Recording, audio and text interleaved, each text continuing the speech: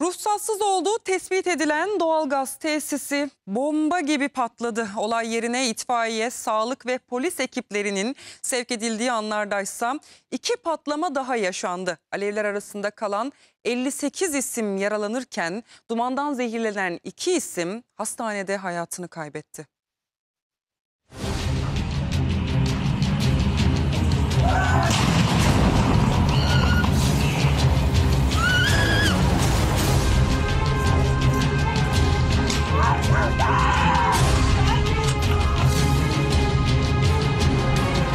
Ruhsatsız LPG istasyonu gaz dolumu sırasında art arda 3 kere böyle patladı. Alevler arasında kalan 58 yaralı hastaneye kaldırılırken iki isim dumandan zehirlenerek hayatını kaybetti.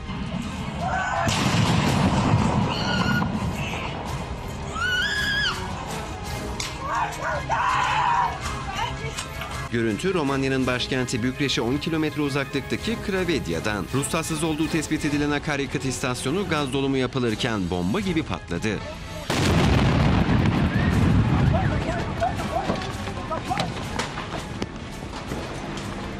Patlama bölgede büyük bir yangına yol açtı. Çıkan alevler iki tanka ve yakınlardaki bir eve sıçradı. Alevler arasındaki olay yerine sağlık ve itfaiye ekipleri sevk edildi ama istasyonda iki patlama daha yaşandı.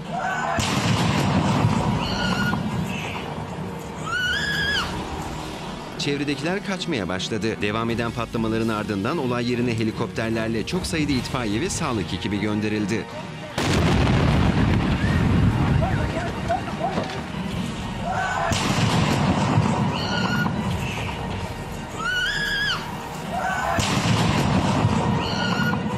Dumandan etkilenen bir kadın ve bir isim hayatını kaybetti. İlk patlamadan sonra alevleri söndürmeye çalışan 26 itfaiyecinin de içinde olduğu 58 isim yaralanarak hastaneye kaldırıldı.